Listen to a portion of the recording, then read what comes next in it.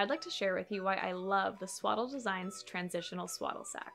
It's the easiest way to transition baby from a classic swaddle. It has unique arms up, half length sleeves. These little sleeves have a big purpose and help your baby sleep better. The sleeves have fold over mitten cuffs that you can open and close.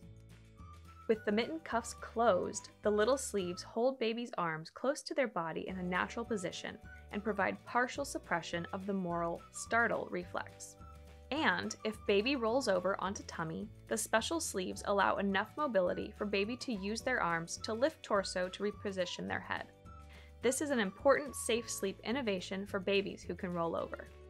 And great for babies who like to sleep with their arms up from day one. The Swaddle Designs transitional swaddle sack is thoughtfully designed because you can open one cuff and baby can self soothe directly on hand. And diaper changes. Diaper changes are easy with Swaddle Designs transitional swaddle sack. The two way zipper can zip up from the foot, which makes diaper changes so easy.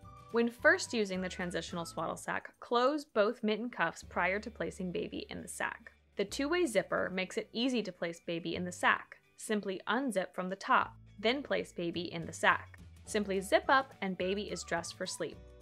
As a second step in the transitioning process, or if your baby likes to self soothe on fingers, open one cuff.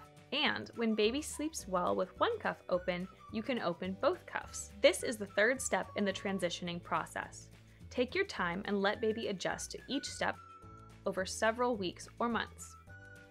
With both cuffs open, the sleeves become half length and there is no suppression of the startle reflex, so both cuffs open is best for older babies closer to 6 months of age when the startle reflex has faded.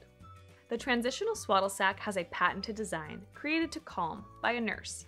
It is hip healthy and recognized by the International Hip Dysplasia Institute and is a winner of multiple awards.